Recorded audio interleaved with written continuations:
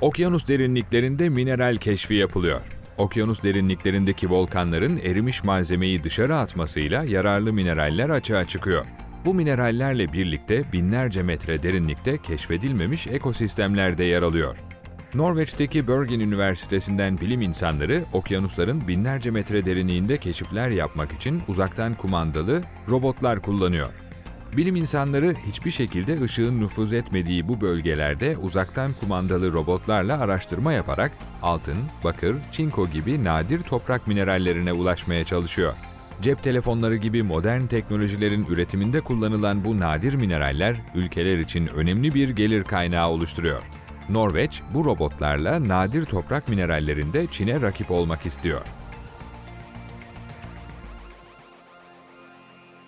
Thank